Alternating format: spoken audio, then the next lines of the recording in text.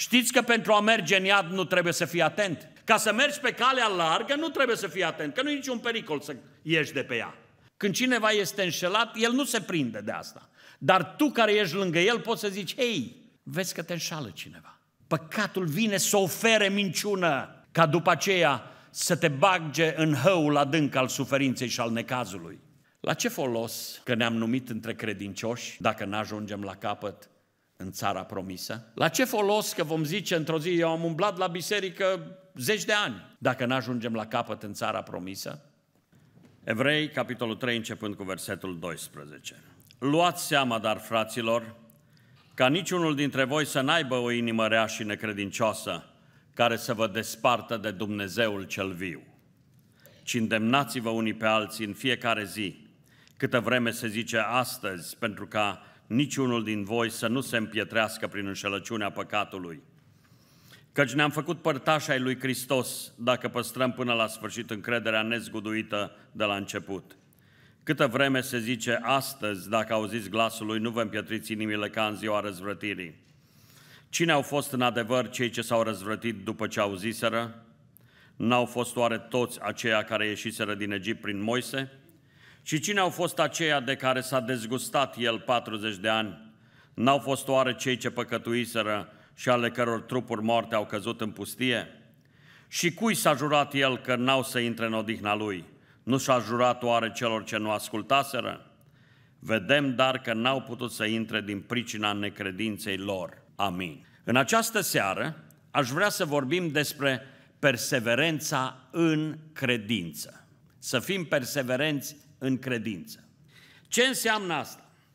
Am stat cu ceva vreme în urmă de vorbă cu o soră care și-a pierdut fica. Când zic și-a pierdut-o, fica ei a murit.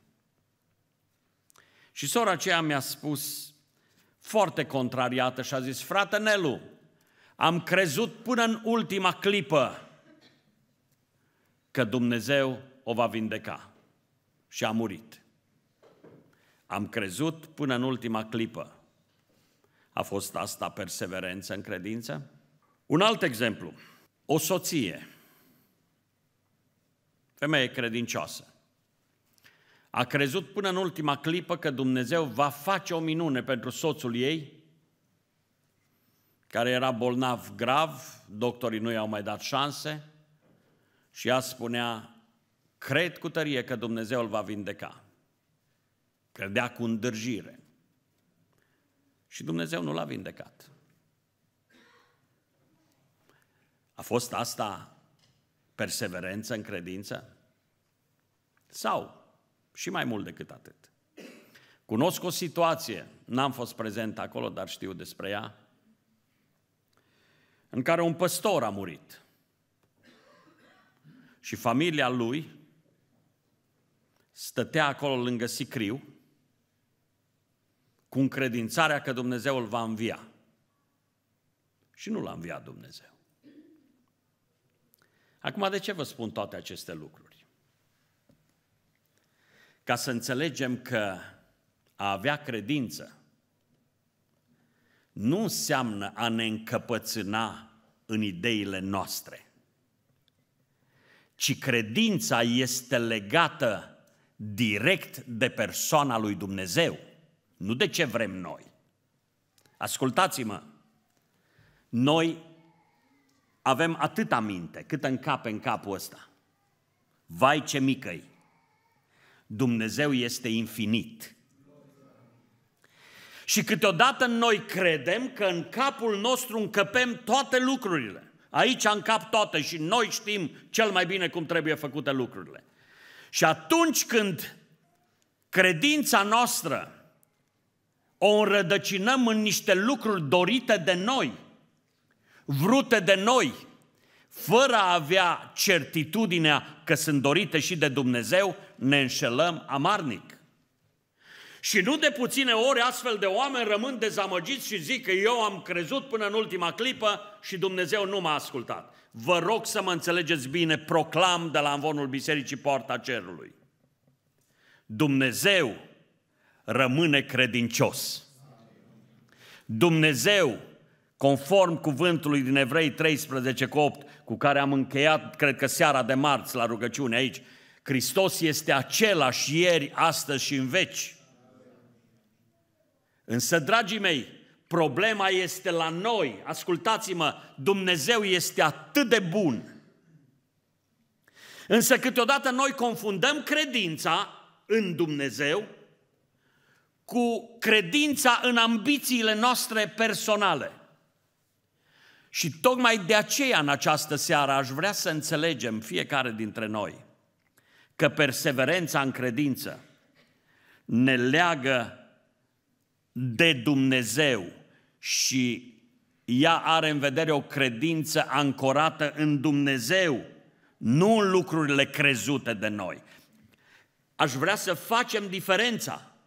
Pe la un moment dat, cineva poate să se încăpățâneze, să creadă că în seara asta, când va ieși din biserică, trebuie să găsească el un diamant de un kilogram pe stradă. Este asta credința? Asta e credință în diamante și asta te înșală. Însă credința în Dumnezeu, credința ancorată în Dumnezeu, te face să zici, Doamne, precum vrei, așa fă Tu. Tu ești olarul, iar eu lutul. Dragii mei, am citit acest pasaj din Scriptură ca să vorbim despre perseverența în credință și să înțelegem că a fi perseverent în credință presupune câteva lucruri.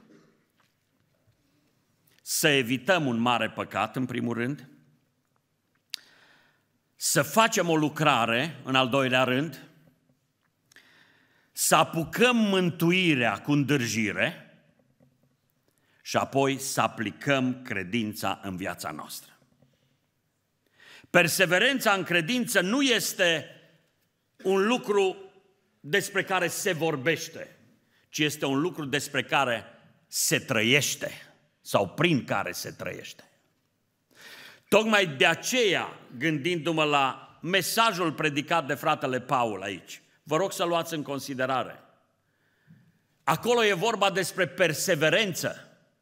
Adică, dacă voiește cineva să vină după mine, omul acela se leapădă de sine, nu mai zice cum vreau eu, Doamne, ci întotdeauna zice cum vrei Tu, Doamne. Omul acela e gata să poarte crucea, chiar dacă e greu, chiar dacă plătește un preț, el se ține de Domnul. Și omul acela este mereu atent la Hristos și la ceea ce face Hristos îl urmează pe Hristos. Dragii mei, din tot sufletul doresc ca noi, credincioșii de la poarta cerului, să fim oameni perseverenți în credință. Însă pentru aceasta, prima noastră datorie este să evităm un mare păcat. Care e cel mai mare păcat? A, putem face liste aici. Unul va zice, ăla e cel mai mare, altul va zice, ăsta e cel mai mare. Uitați-vă ce zice primul verset pe care l-am citit. Luați seama, dar fraților, ca niciunul dintre voi să n-aibă o inimă rea și necredincioasă care să vă despartă de Dumnezeul cel viu. Cine ne poate despărți de Dumnezeul cel viu? O inimă rea și necredincioasă. Dragii mei, dacă mă îngăduiți, aș zice că necredința este păcatul acesta care înșală pe oameni și îi face să nu se mai încreadă în Dumnezeu să creadă că ei cu bucățica asta de creier știu mai bine decât Dumnezeu ce trebuie făcut. Și aș vrea în această seară, frații mei și surorile mele, să primim o chemare la realitatea spirituală dorită de Dumnezeu. Necredința este un păcat foarte mare. Știți cum s-a încheiat cuvântul citit în această seară? Vedem dar că n-au putut să intre în făgăduință din pricina necredinței lor. Dragii mei, noi suntem astăzi aici și vreau să vă aduc aminte, suntem aici oameni chemați de Dumnezeu. Dar n-au fost chemați toți evreii de altă dată să iasă din Egipt și să fie duși în Canaan? Ba da. Au intrat toți în Canaan? Nu. Din păcate au intrat doi dintre cei ce ieșiseră. Din păcate. De ce n-au intrat toți? Din pricina necredinței. Și atunci nouă celor ce am fost chemați și suntem în Biserica Poarta Cerului, Domnul ne cheamă să înțelegem că suntem datori, să fim perseverenți în credință și să înțelegem că necredința este un mare păcat. Avem un mare păcat de evitat. Necredința. Cum poți evita acest păcat? Ca să-l poți evita, să poți evita necredința, trebuie să înțelegi că ea trebuie privită ca un păcat mare. Puteți să ziceți toți păcat mare. Mulțumesc. Uh, necredința este un păcat mare. De ce spun asta? În primul rând pentru că ea este rădăcina tuturor păcatelor. Știți că diavolul a venit la Eva în Eden și ceea ce s-a străduit diavolul să facă în dreptul Evei, în primul rând să semene necredință în ceea ce a spus Dumnezeu. A venit să semene necredința și așa a început. Oare a zis Dumnezeu cu adevărat să nu mâncați din toți pomii din grădină?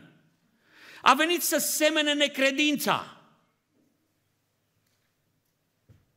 După aceea,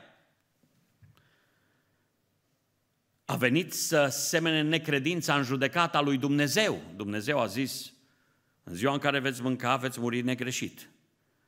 Și diavolul a venit și a zis, negreșit, nu veți muri. Nu veți muri. Nu e așa cum zice Dumnezeu. Dumnezeu nu va face asta. A început să semene necredința cu privire la bunătatea lui Dumnezeu. Fiți atenți! Dar Dumnezeu știe că în ziua în care veți mânca veți fi ca El și Dumnezeu nu vrea să ajungeți voi ca El. Ce a făcut cu alte cuvinte diavolul? A semănat necredință.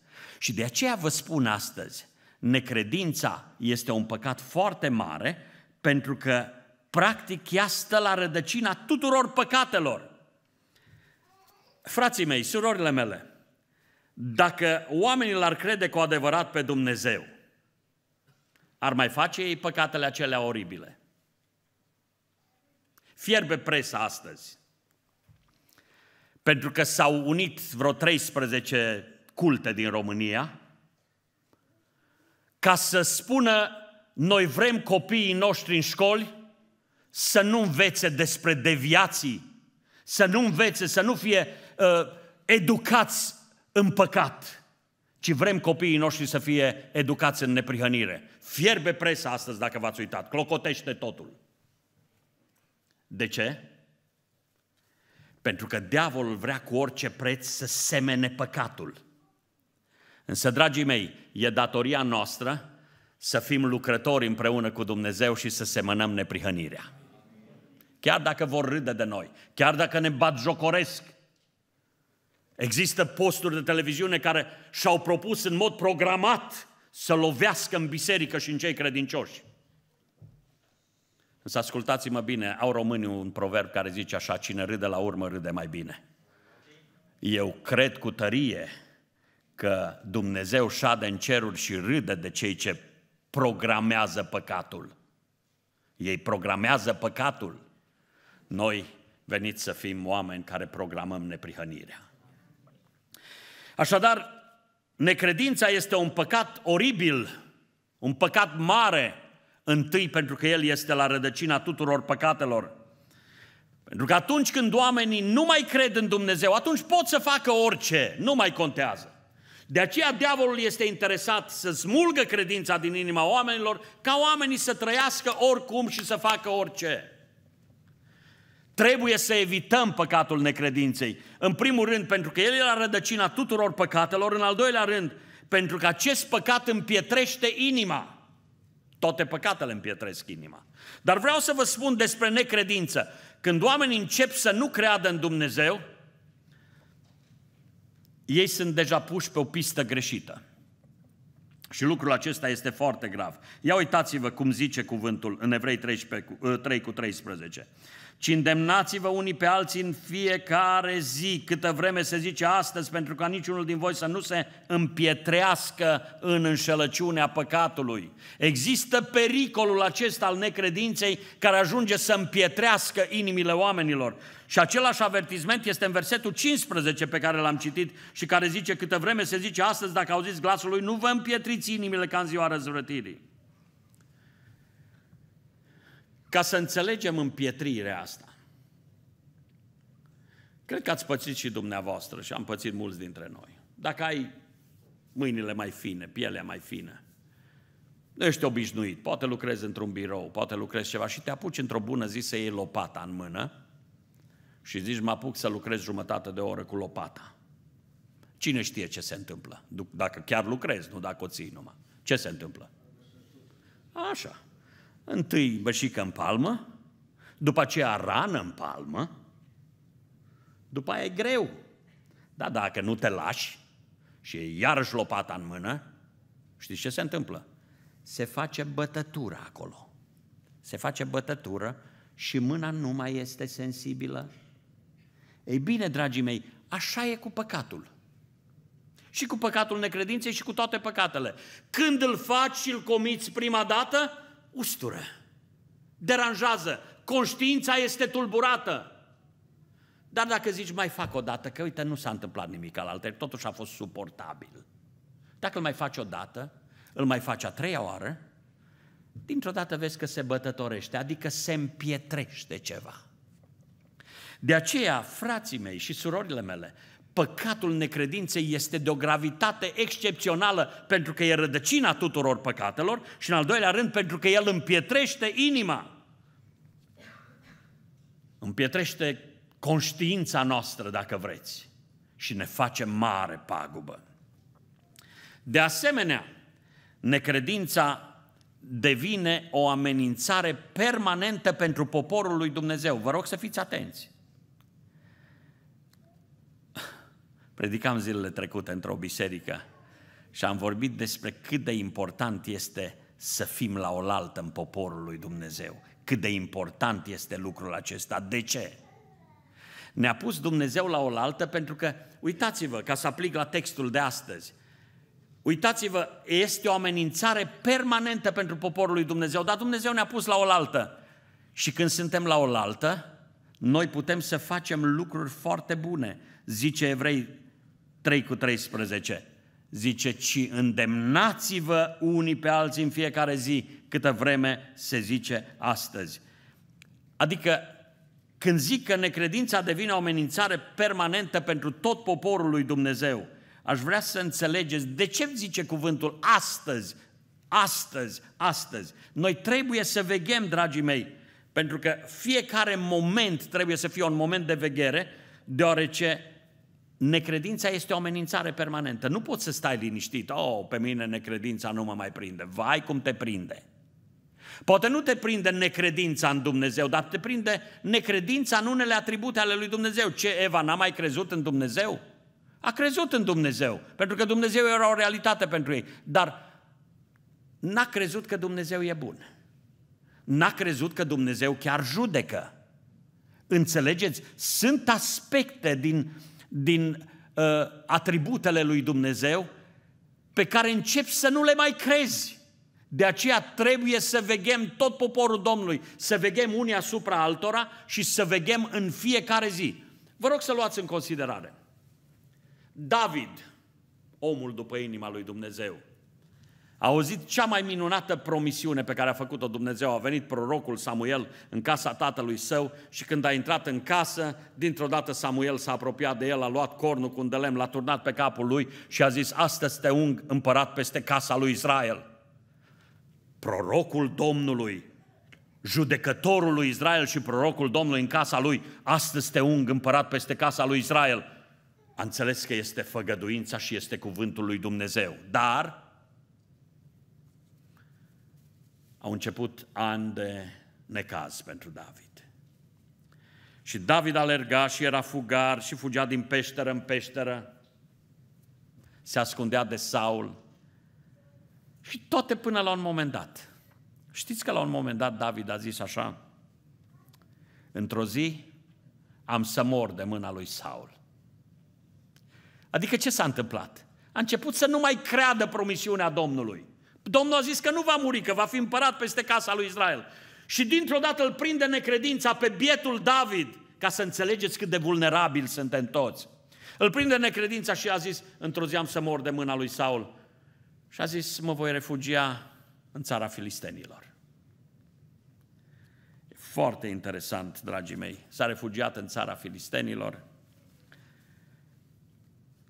și a făcut prin aceasta unul dintre cele mai grave lucruri din viața lui. Unul dintre cele mai grave. Noi știm că grav este doar păcatul cu Batșeba, dar când a făcut el pe vrăjmașii Domnului să râdă de Domnul, el însuși ducându-se în țara aceasta și Dumnezeu i-a vorbit în multe feluri. La un moment dat era provocat să lupte el împotriva poporului lui Dumnezeu, să facă exact ce a făcut Goliat. Era provocat să facă asta. Numai că n-au avut încredere, așa a făcut Dumnezeu să n-aibă filisteni încredere în el. Și după aceea s-a întors la Țiclag și gândiți-vă, a găsit totul ars, a găsit totul nimicit și a găsit familia dusă. De ce toate acestea?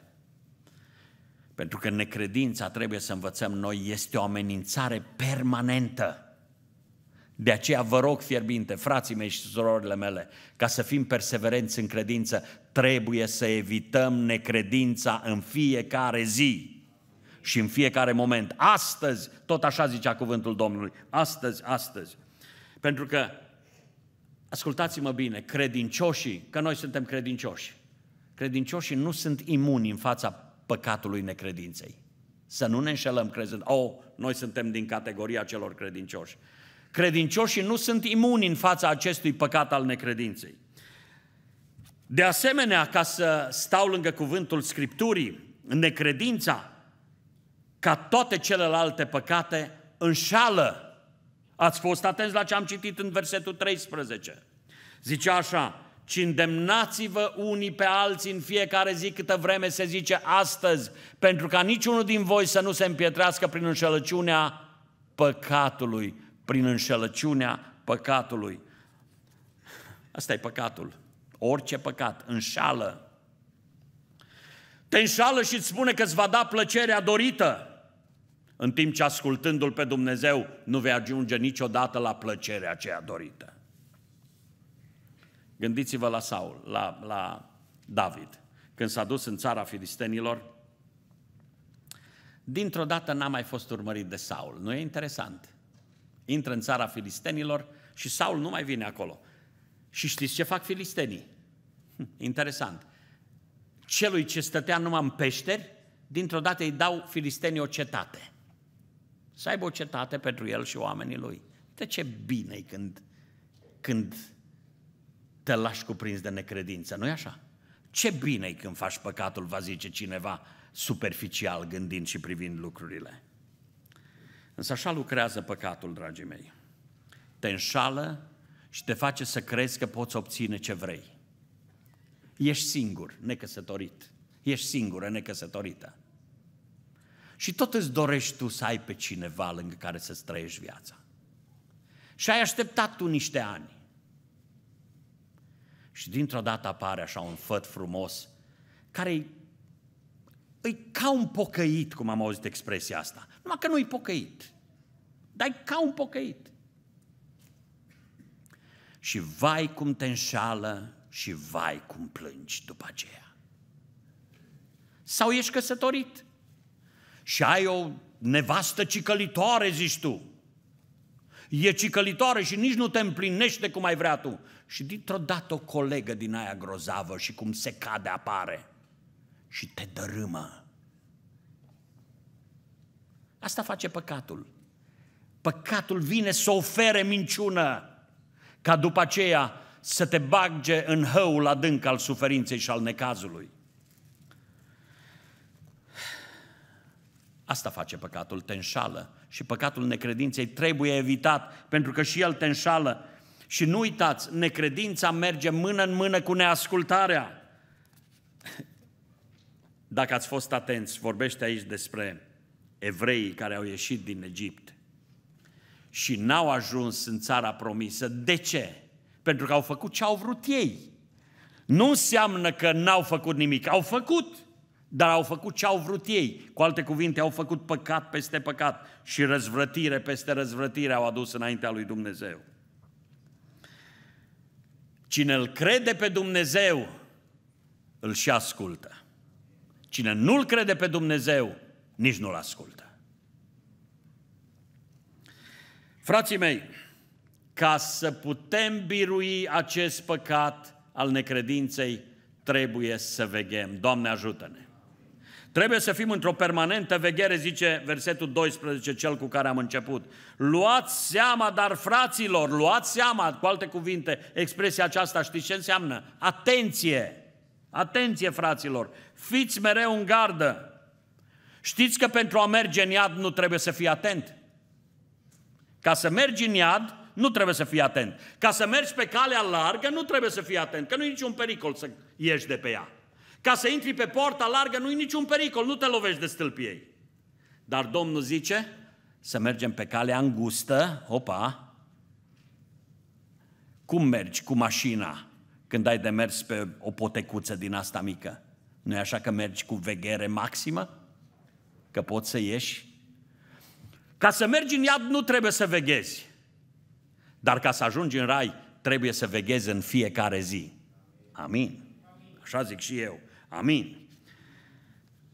Dragii mei, un păcat de evitat. Care e păcatul ăsta? Necredința. În al doilea rând, o lucrare de practicat. Avem de făcut ceva, dragii mei, ca să fim perseverenți în credință. Uitați-vă ce zice versetul 13. Ci îndemnați-vă unii pe alții în fiecare zi. Îndemnați-vă unii pe alții în fiecare zi. Știți ce înseamnă asta? Că ne-a pus Dumnezeu la oaltă cu un scop să veghem unii asupra altora, să ne îndemnăm unii pe alții. Ce înseamnă îndemnați-vă? Încurajați-vă unii pe alții. Asta înseamnă. Ori, dragii mei, aș vrea să înțelegeți că lucrarea aceasta de încurajare este o lucrare pe care trebuie să o facem fiecare dintre noi. Fiecare avem de lucrat ceva. Poate unii stau și zic, Doamne, ce am eu de făcut? Ascultă-mă bine. Pe omul acela care e vecinul tău, care e prietenul tău, nu-l pot încuraja eu. N-am cum. Poate nici nu-l cunosc. Dar tu ești lângă el, e colegul tău, tu poți să-l încurajezi pe omul acela spre neprihănire. Tu poți să faci lucrul acesta. Și încurajarea trebuie să fie lucrarea fiecăruia. Este o lucrare care trebuie făcută ca să putem fi perseverenți în credință. Avem nevoie unii de alții. O, ce mare nevoie avem unii de alții.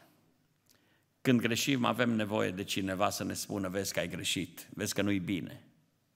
Asta nu ne place, dar de-aia ne-a pus Dumnezeu la oaltă. Când ne e greu să avem pe cineva care să ne spună, lasă-mă că am trecut și eu pe acolo, lasă-mă să-ți spun ceva, trece și norul acesta și răsare iarăși soarele. Sau știi că eu m-am întâlnit cu mâna Domnului, va întinde Domnul mâna și către tine. Toți trebuie să facem lucrarea aceasta de încurajare. Doamne, ajută-ne! Dragii mei, atâta nevoie de încurajare avem în vremea de acum.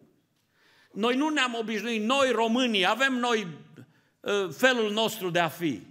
Ne e greu câteodată să complimentăm pe cineva, să spunem o vorbă încurajatoare sau bună cuiva. Dar vreau să vă spun, când zice Scriptura, îndemnați-vă unii pe alții. Dragii mei, atunci când cuiva este greu, îndemnarea spre a merge mai departe, așa de mult contează și așa de mult ajută. Când greșește cineva, să-l atenționezi cu dragoste, așa de mult contează lucrul acesta sau să-l încurajezi pe cineva care face bine, așa de mult contează lucrul acesta să-i spui să știi că ai făcut un lucru bun, dă-i drumul înainte și va fi bine.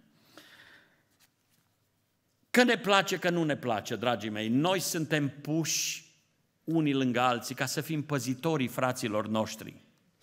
Cain a zis altă dată, dar ce sunt eu păzitorul fratelui meu? Ei bine, frați și surori din poarta cerului, noi suntem chemați să fim păzitorii fraților noștri. Doamne, ajută-ne la aceasta.